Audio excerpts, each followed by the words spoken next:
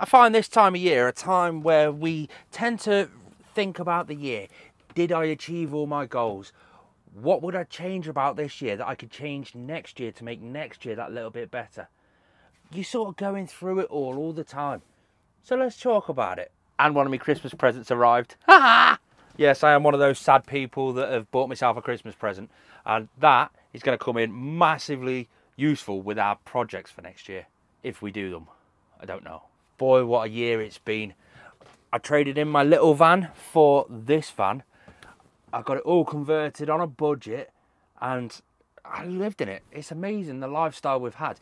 We've been to places like Glencoe. That was one of our first massive adventures that we went on. Now that was absolutely amazing. We ended up stopping in Glencoe, heading down to Fort William. We went down to the Glenfinnan Viaduct. We really did have a full-on amazing Scottish adventure. It was Danielle's first time into the Highlands, and that was absolutely amazing that I could share it with her too. Spent loads of time up in the Lake District solely because there's a lot that I want to achieve up there. So I've just focused to sort of up there. Plus, that's the closest destination, mountainous destination to sort of my base. God, we really have been everywhere, haven't we? Spent loads of time in Snowdonia, loads of time in Norfolk, been down to Devon, Cornwall.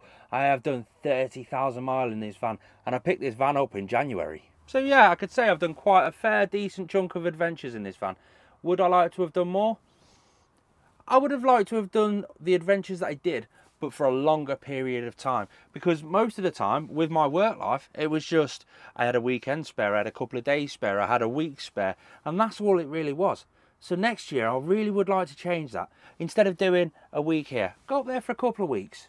Just chill out, have a good time. Be able to travel around those locations slowly. Have more time to appreciate everything. That's definitely something I'd like to change for next year because basically this year has been very trying to fit everything all in at once. With regards to the van though, is that come along how we planned? To an extent, yes. The van was always bought and designed in a sense that we'd do it on a tight budget and we'd enjoy it as a tight budget. And then progressively over time, we can turn it into a much more high end sort of van. There's a lot going to be planned for this van through the very early parts of next year. Uh, right, let me just show you around to start with. I'm currently stuck in because I'm working down in Milton Keynes and it's raining outside. That's why the lights are on to give me a bit of light. But we had a very um, sort of ADHD moment not long ago and I decided my overhead, all these units down here and the unit that's over here, decided, you know what, we'll knock it, knock it all about and just see what we can come up with. I don't know why I decided that because I did kind of like how it looked. This unit went and we replaced it with this thinner, narrower unit with a sink that's under there with the tap. Yeah, and uh, that's currently what that looks like. I don't like the colour of it. And then all these overheads were black with like a real wood finish on them. Same with these ones down here. Can you guess what I'm about to say? Don't like them. Don't like them at all. But this might be my cue to sort of go for a bit more of the high-end standard that I wanted. I'm not capable of doing a high-end standard at all. I don't like them that much. I still haven't put the door handles back on any of it. Just don't like it. But I've got some inspiration now. I've seen people do their vans, whether it be these VW Crafters or the MAN TGE version, and they look really nice. But I can't do the kind of finish that I'm looking for. I just don't have the skill set. Granted, I could always train myself to do it somehow. There's plenty of YouTube videos out there, but me, trial and error, I always mess it up.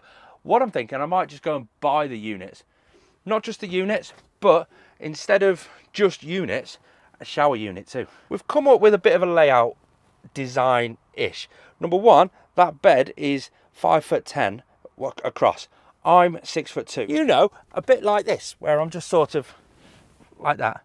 Yeah, because let's face it, if I sleep normal like this, put it this way, my feet are now flat on the end of the wall, legs are straight, and yeah, not ideal when there's two of you sleeping in the bed. So I have two options. Option one, side pods side pod, both sides, give myself that little bit of extra room. Jobs, that's it. That's perfect. Yes. Right, let's go on Google and see how much that's going to cost. That's where my dreams came crashing down because like most things on the VW Craft and New Shape, there's only one company that do it. There was a uh, two or three, but a few of them have gone into liquidation. A few of them have stopped doing them. The reason they don't do them for this one is quite simply it's a long wheelbase. So if you look at the wall just there, normally with the side pods, you just cut it down here, cut out the window insert that's there and slap it on the outside. Job's a good one. Long wheelbase is different. About here, there's a structural beam and it's there to support yourself. It's part of the crumple zone. And I can't fit a pod across all the way across here with that beam in the way. There's only one company that will sell you the side pods and a jig for this. So you have to basically cut it out the roof, cut it out the structural frame there, take it off, relocate it about here, and then bond it and rivet it back in place. And then you're left with a big hole here. They sell you the plate. Do you want to know how much it costs for just the side pods, the outer skin only, because this company also do the inside skins. Have a guess. A grand. I don't know if my budget will stretch that far, but that's just for the side pods. They'll they'll sell you the jig and they'll sell you everything you need to move that uh, structure of beam thing. I'm not being funny again. For the finish that I want on this van, I don't think I've got the skill set to be able to start cutting up part of the structure of the van. I just don't like that idea. That company can do it for me. I can pay them and they will do it for me. They also sell a bed frame actually, and the bed frame has got those support beams built into the bed frame, but that bed frame's grand as well. And then the inside shell, so you've got the outside pod and then they've got an inside sort of insert, like finishes it off really nice. That inside pod is a grand. I'm not paying three grand just to get a couple of extra inches. I know some men will, but I won't. I'm happy how it is but I could get the outside pods and get that company to do it. I think they said £500 or 495 to fit them, which I don't think that fitting cost is that bad considering the work that's involved. That's that is what it is. Option two is another one that we like the look of. It's not a king size bed like we've got now, but instead a double bed. And not traversely either, more lengthways. So if we go lengthways, it's going to bring the bed out to about here, which means my shower unit would come to about here, leaving exactly five foot 10 from there to over there where we can put two seats to turn into a single bed for when Jacob or Alfie sleeps. You know, single beds just like that, two seats just like that with these metal rungs and the table sits on top of that to make a single bed. And then over this side with the sink, we extend this unit all the way down to the end, possibly lift it up a bit just to cover the diesel heater that's underneath that seat just there and have the full unit going all the way across. What's that going to cost me though? Let's have a think. So that's going to cost me a lot. Let's just leave it like that, shall we? Because the shower unit alone, now again, there's only three or four companies that actually build the shower unit. And I'm like, huh? Why? The thing is, when you've got less companies, they can charge pretty much whatever they want. We found that with the R&J swivel seat base, that was £700 because they are the only company that actually supply them and fit them and design them and manufacture them and you know the score. Anyway, the shower unit is a grand. So I'm thinking I can make a shower unit. That can't be that hard, surely. It's just straight panels, in theory. I don't know what I'll do for the door. I don't know. I haven't got a clue we're still looking at that. We're currently in the stage of I can't do this until the crash damage is repaired on the back. You know, remember when I reversed it into a canopy awning porch thing and totally destroyed the top? Well, that can't get fixed until uh, February, solely because the part that I need, the panel that I need for the top of the roof, it proper bent it. That is on back order from VW. VW won't manufacture them until they get enough orders. I've got to wait until mid-February to get that sorted. When that's sorted though, whole new ceiling, boof. I can't wait to get rid of this ceiling. Have you seen this ceiling? Just as a reminder, look how wavy it is. I can't wait to get rid of that ceiling. We've got some big plans for that, some nice fabric, and it's going to look, oh, perfect. Then we've got the overhead storage. Now this is why we want to sort of really design the shower unit to our spec so we can get the right size single bed and we can get the right size overhead storage. But I'm thinking of buying them so that I can get the finish that I desire. We'll get some more storage over the actual bed as well, some overhead up there. Now, if we go lengthways with the bed, front to back, we'll have a bit of extra room over that side, so we'll be able to stick cubby holes down there. I can probably build that because if it looks a bit crap, I can just cover it in some carpet or something. We're going to be losing all that storage unit space just there. All of that is going to be gone, but we make up for it in loads of other storagey bits up here as well. Plus the overhead storage we're doing over there, plus the overhead storage we're doing over here. Now, even finishing touches like this, you can get a panel to cover all this wiring harness area at the top, along with a microwave unit here. So we don't know whether we're going to go microwave unit or plate unit, but again, this is all just, we've not physically been to a company yet and said we want these. It's still all just in the idea phases. That's a job for next year. Plus, along with that, the overcab storage unit. I didn't like the idea of having the one, the cheap one, where it just sits on top of the handles. You know, these handles just here. You can get a piece of wood that just sits on top of there, goes all the way across. If I did that, I wouldn't be able to lift up my swivel seats to the right height. And when you sat in that, your head will be hitting it. So I found a couple of companies that make it so it comes up to about here. That'll be absolutely perfect. Not cheap, 380 quid for that one unit and then I've still got to cut the headlining out to fit some brackets up there. I rambled on about that far too much, but yeah, we've got some big plans for a design change in the van in February. Subscribe for that. I can't wait to get this done. This is again part of the upgraded sort of scenario that we're doing. You see, that is another LiTime 200 amp hour lithium ion battery. Let me tell you about it. Now this is part of the LiTime lithium ion range so you can get loads of different sizes. This one's a 200 amp hour. That means it's a 2560 watt hour capacity. It has an intelligent 100 amp battery management system. So that's a system that detects the temperatures, when it can charge, when it can't charge, just keeping an eye on the battery, making it last as long as possible. Which this battery can last over 10 years with over 4,000 cycles, 0 to 100%. It's got an IP65 waterproof rating, so it basically can be used for uh, maritime use and in campervans and RVs. It can charge in temperatures as low as 0 degrees Celsius right the way up to 50 degrees Celsius. Most importantly, it can discharge, meaning it will give you electricity from minus 20 degrees Celsius right the way up to 60 degrees Celsius. And what's better, it comes with all the information, the paperwork that you need to be able to get it sorted for yourself. I've left some links and discount codes in the description for you we're going to be connecting that up to our existing 200 amp hour LiTime lithium ion battery. Because with these new upgrades we're going to have a lot more draw coming off the batteries. So I want more capacity there to be able to cope for the more draw. We've got an inverter going in so we're doing away with the power bank going for an inverter. We've got a microwave going in that's going to be ran off the inverter. With again still undecided on a microwave. We've got the water heater because we're going to have a shower we're going to have hot water. That's going to draw off the batteries. So we're going to we've got a lot of draw so i want more capacity within that draw now you need to charge it before using that and my original 200 amp hour LiTime battery is fully charged. So all I'm going to do is put that battery where it should go just there and then take off these terminals, put it straight onto the other battery, let the other battery charge up from one, our solar panels, to our DC to DC charger. Then once that one's fully charged over there, then I can connect them both up so that I have 400 amp hours. To install it, you need one of three items. You either need a posi screwdriver bit, a flat bladed screwdriver bit, or a 13mm socket. And that's just solely because these are what you've got to tighten and untighten to get in. So that'll either fit in a 13mm, a flat blade will fit in that fitting, or a posi drive will fit in it.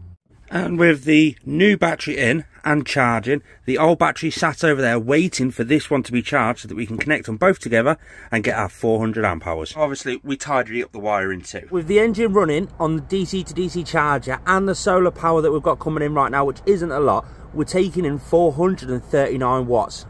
That's 32 amps. But while I'm here, I want to try something. So I've got the cleaning liquid in there. It's basically just fairy liquid. I'm going to spray it on the solar panels, give them a good clean, and then I'm going to karcher them dry. And I want to see if that just helps out the solar a bit more. Currently, in this sort of overcasty conditions, we're currently drawing 19 watts from the solar. Let's see what it is after we clean them. Look at the colour of that. They didn't even look that dirty. I must admit, I do love those batteries. I got one ages ago and it's been mind blowing. The difference between lithium ion and lead acid is mental. Not just the weight saving, because the lithium ions are so light compared to the equivalent capacity that you get with a with a lead acid battery.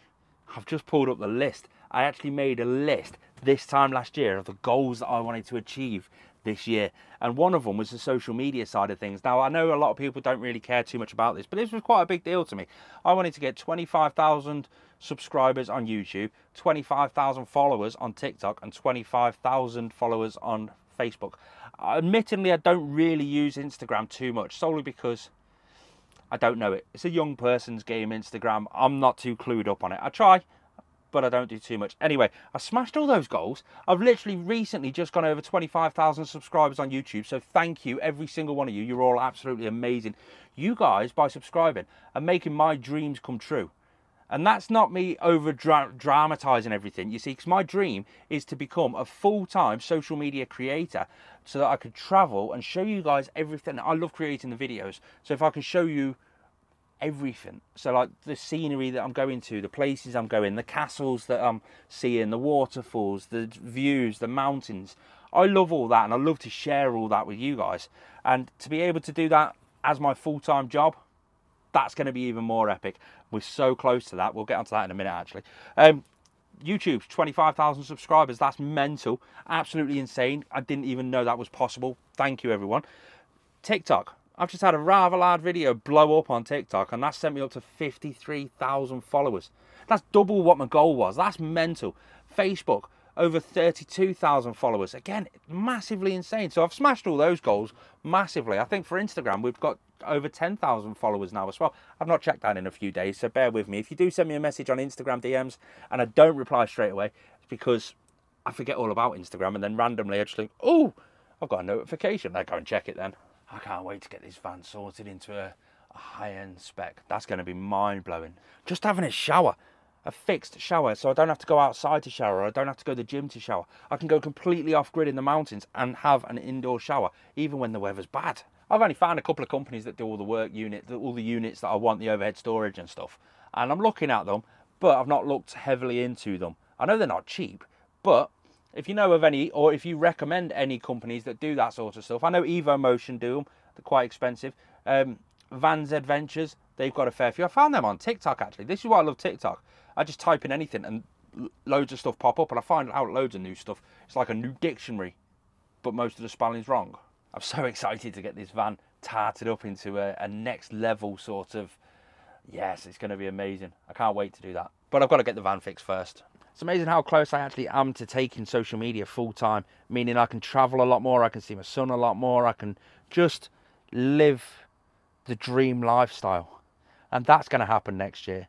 I'm going to set that as a new goal, actually. That is going to happen next year. And do you know what? It could happen right now, but I'm too impulsive with financially. So, like, I've got the money now to where I could do it confidently and have the backup to be able to do it confidently because I've got the money saved up there. But instead, I want to spend that money on new units and stuff like that. That's just my lifestyle. That is. That's how I. Uh, that's how I roll. But there's definitely going to be more adventures next year. 100%. Not so much, probably more, more so the longer adventures. I want to do like the west coast of Scotland, but like take a good couple of weeks to do it. Go all over the Isle of Skye. The Isle of Skye is my nemesis. Every time I've wanted to go there, I've never actually made it there. So that's one thing I want to do. But then I want to work my way up to John O'Groats and then do a tour John O'Groats down to Land's End. I was thinking about doing that without touching a motorway. How cool would that be? You get to see all like the off-grid castles and stuff like that. And don't come through the centre of England. Go like down Wales way and stuff like that. Granted, if I go down Wales on that run, I'm going to have to touch a motorway to get back over into England. I'm sure. I'm sure we can find a way around that. Either way, we have got a lot of big adventures and some cracking videos coming out for you next year. Here's a one I had. I was highly caffeinated when I thought of this one, but van life hide and seek. Get three or four years together and I just turn around and say, right, here's £50. That's all you're allowed. That's got to cover your fuel, your food, everything. Go. You've got 24 hours. Go and hide. And then I can spend as long as it takes or until one of them runs out of money to be able to go around trying to find them. I shouldn't really be putting these ideas out on the internet because somebody's going to steal them. But uh, yeah, I reckon that's going to be a cracking adventure. You find out loads of clues and hints and tips from like their social media, go on their Instagram stories, and there they are. Oh, I recognise that. Off you go trying to find them to find out that they're actually faking it and they're not actually there. They're in the other end of the country, and I just reckon that that video could last weeks, but it'll be so cool. Imagine if one of them ran out of money and then they got a little farm job for a day, got a bit more money and then shot off somewhere else further up the country, then got another little day's work, got a bit more money for a bit more fuel, and then shot further up. One could be right in the top end of Scotland when we started in Cornwall. Oh no, do you know what I've just realised? I'm sat here looking at the design of the van and how things are going to work, and then I've remembered my new fridge. My big new fridge is 60 centimetres deep. Well, this unit, where it would sit in, is not 60 centimetres deep. So chances are it's going to be sticking out a lot. That's not high-end spec. I don't like that idea. Where else could it go? Because over here is going to be a bed. It's going to be a single bed, two seats and a little bed. Over there's going to be a shot. Oh, brainwave. We look down here, we've got that unit there. Now, again, this unit's going to be following out all the way down to the back wall. So this piece isn't going to be there. So we're going to have a bit more space on that back wall. So it can take away those units. They can go in the extra overhead storage and the fridge can fit in there. That's just one idea I've just spitballed anyway. I'll tell you one thing I wanted to do this year, but I've not managed to do. I wanted to lose some weight. Instead, I've stayed exactly level. I've lost a load and then be dead happy, went and got a kebab, or I've took on a load of work where I'm sat down driving all the time and I've just put it all back on again. So I wouldn't mind doing that next year.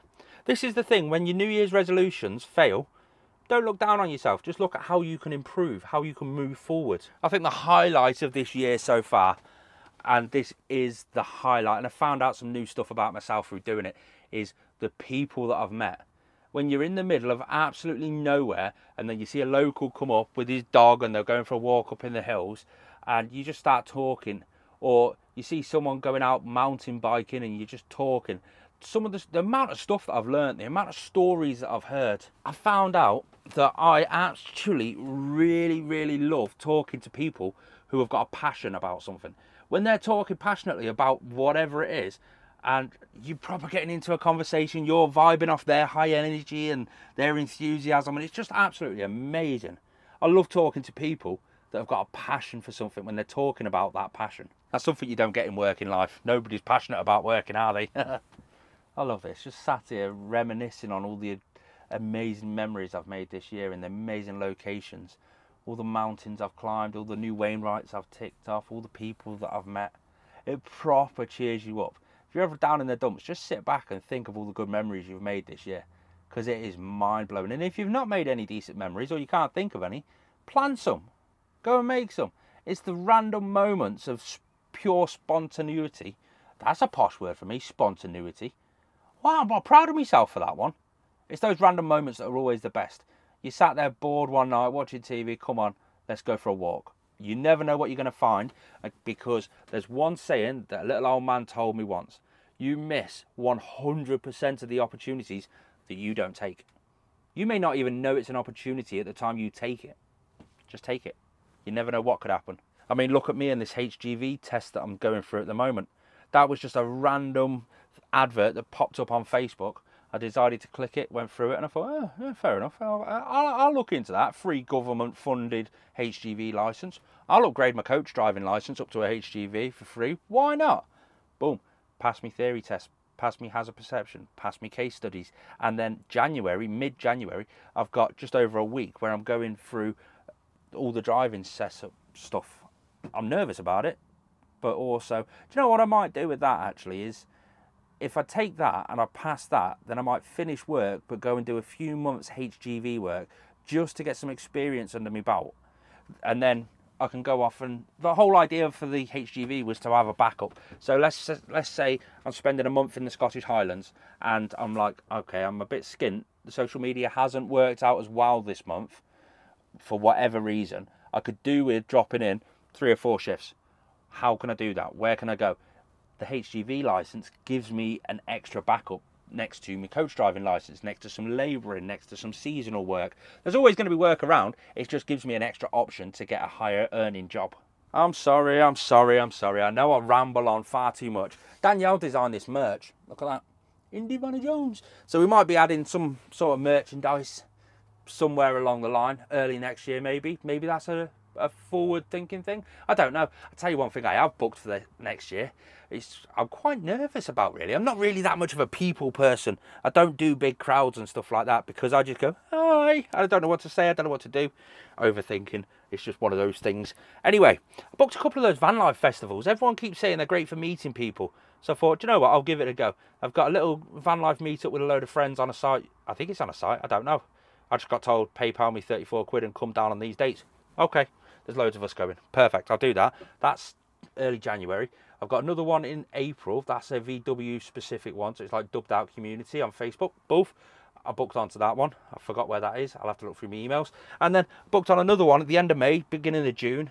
Uh, that's a massive one by the looks of things. I didn't realise the extent of how big that actually is. Uh, Van Life Festival, it's called. I don't know. I got golden tickets, and I don't didn't even know what the golden ticket was when I booked it, but I've read up on it. It says you can go there a day early. Okay.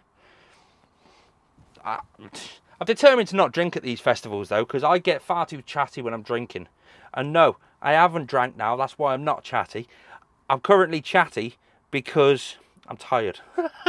I've just done a full night shift in work, a hard night shift in work. This wind that's blowing us around like crazy is, yeah, it's hard to drive in those conditions when you're driving a large vehicle. So I'm going to leave you all there. I hope you all have an absolutely amazing Christmas. Thank you for 2023. I look forward to seeing you all in 2024.